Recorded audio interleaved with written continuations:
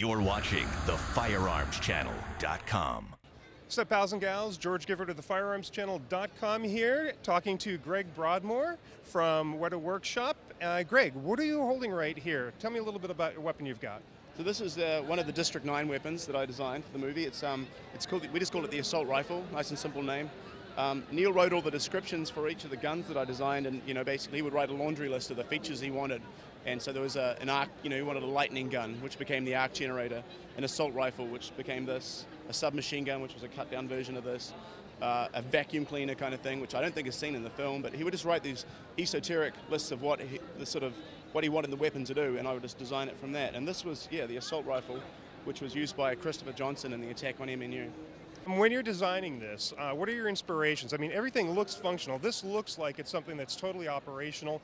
How do you determine I like this shape or I like this design, and then how do you bring all that together? Well, the, the, in terms of whether you like the shapes or not, or that's kind of just like a gut feeling. You just kind of it's just intuition as an artist, I suppose. Um, but there are certain you start to post-rationalize certain things that make sense to you and why you like them. But um, there's a lot of factors that went into the design, uh, and there is the practical, and there is, of course, just the, um, the, the, uniqueness of it. You're trying to fight a battle as a designer between making something interesting and stand out and make it feel like it's a new thing in some level and surprise people, but also make it feel complete, believable and practical and you know and pragmatic. And, and that's the balance, and it's a tricky thing because the two things are in opposition with each other. Uh, and uh, and hopefully with these, you kind of get a, a, a, hopefully something that's a good balance because there there is a, a certain amount of thought behind the science of it uh, but also there's a certain lot of thought behind just making it look like an ostentatious kind of object, you know. Out of all the rifles from uh, District 9, uh, which is your favorite? Uh, man, it's really hard. Actually, I think almost my favorite weapon is a cut down version of this, of the SNG, but it's only seen in like uh, one scene, you know, in the background of a shot during the test footage. Uh, but basically, it's this with a, um, a cut off at about here. It's like a, and then it's got sort of a big sight assembly on the top and a cut down magazine. Your background as a designer, um, where did you study? What was your background? I don't have any background in design other than I, I've always thought that I've done it my whole life. You know, ever since I've picked up a crayon, I figure I've been designing. But no, I never went to any school. There aren't really too many places you could, well, any places uh, when I was growing up that you could learn film design. Uh, New Zealand only has like four million people, or about three million when I was growing up, and so yeah, there was there was no large-scale sort of fantasy or science fiction film industry. So, but I always loved comics and movies and video games, and just did that stuff anyway. And so luckily it was like right place, right time for me, and I managed to get a job at Weta just in, during the middle of um, Lord of the Rings, and sort of fell into went from drawing tanks and robots and dinosaurs at home on my own to getting paid to do it. So I was just so, lucky, man. So basically, with persistence and passion, almost anyone can become a filmmaker, but you have to have that skill. Uh, the skill can be developed totally. I think it's just perseverance and um, and desire to do it. You know, that's that's the important thing is just wanting to do it. Everything else falls into place as long as you have a, a desire or a goal. You know, and some passion to push forward with it. Greg, let's talk about the latest insanity that's coming out of Dr. Grordbort's laboratories. Yeah, so this is the Pomson, which is a uh, subatomic ray gun. It's um, it's the latest in the sort of high-end art collectibles we make. We only make 50 of each of these. They're made in metal from uh, our cast aluminium. And it's designed and look and feel like a real ray gun if such a thing was possible, you know. So it's a right-handed weapon. All the readouts are on one side and all the operating pieces are on the other. I want it to just feel like, you know, a real ray gun, but the, you know, you don't have the ammunition. So uh, and this one's obviously probably a little bit more ostentatious than some of the others. It's also a little bit more solid. I wanted it to be a bit more chunky and a bit more, slightly more utilitarian than some of the other more esoteric looking ray guns I've designed. And my thought was that it was the, um, uh, it's the des weapon designed for use by like the special forces in the world of Dr. Grordbort. It's the Earth Elite Forces. So kind of like the SAS or the Delta Force of that world. Well, let's talk a little bit more about uh, Dr. And there's something coming up on the horizon possibly. Yeah, well, it's, it's, fully our intention to you know develop it into a feature film and games, uh, animation, and so on. And that's something we've been working on for quite a while. And it's, it's a weird way around to do it. We started with the guns.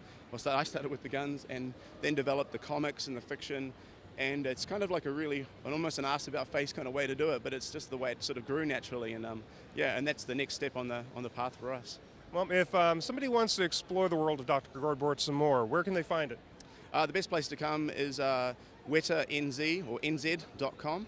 Uh, but you can also just do a search for my name, Greg Broadmore, and um, uh, and you can find my blog and our website. Uh, and also there's drgrordborts.com if you can uh, if you can spell that. Flashing up on the screen now. D R G R O R D B O R T S dot com. Greg, um, I have a copy of the book that you're holding, and it's a phenomenal book with some amazing artwork. Tell me what's in it and uh, where we can get it. Yeah, sure. So this is um, this is my second book in the Dr. Grordbort's world. Through um, that's published through Dark Horse, so it should be available through um, through all their distribution channels and through comic book stores. It's also available through WetaNZ.com again, uh, and it's yeah, it's uh, it's kind of a I view it as propaganda for children. It's a, you know I was that's the way I imagined it when I was illustrating it, and it's kind of a book of uh, of of the ray guns in effect through military use. The world of Dr. Grordborts is, of course, he's a, he's a weapons manufacturer and he wants to make the most money possible. And uh, so he sort of engineers wars and wants us to head out into the solar system and subjugate the godless heathens of Venus and so on. And this is the book about recruiting young people to join the armed forces to do so. And so it's a, it's got a, it's a, it sort of revolves around Lord Cockswain, the sort of braggart and buffoon, moron lead character of the world, and it has uh, comics and so on within it about that. But it also has and descriptions of bizarre aliens that you might want to shoot. and um, Races to exterminate. exactly, races to exterminate. War, isn't it fun? And giant tanks, and of course the guns that get used in the world. So the blunderbuss, and some of the new guns we're making. There's the Pomson that you just saw before, the Righteous Bison. Yeah, so it's kind of a semi-catalog of all the stuff in the in the world of Dr. Grordborts, but more a way of how to use it. Okay, and that's available through the Weta uh, website and from Dark Horse, correct? That's right, yeah, correct. Of course, we were working on District 9 last year, and um, we're producing an art of book. This is just the sample version of it with only a few pages in it. Uh, but it's um, it basically goes in and gives a bit of a, a background to all the, the. We did thousands of illustrations for this film, went through different, many different alien variations, as you can see, and unfortunately, very little of that work ever gets to be seen. So it's um, it's a treat for us finally to be able to get out uh, an art book that shows. I think it probably gives a an, uh, a coverage of maybe 80% of the artwork we did for the film in some in some sense, and that'll be out in uh, November, I think. And meanwhile, I think everybody needs to go to uh, the Weta website and check out everything from Dr. Grordbort to Lord of the Rings. And there's a, a podcast that That's right. uh, Yeah, we do a podcast every week that tries to give a little bit of insight into the um, into the Weta workshop and the people that are working there. So yeah, check it out. Thank you very much, Greg. This is George Gifford for the FirearmsChannel.com at Comic Con International 2010. You're watching the FirearmsChannel.com.